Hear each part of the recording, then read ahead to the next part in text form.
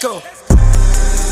We see the hype outside, right from the house. Uh, took it straight from outside, straight to the couch. We put the mic outside, edit shit out.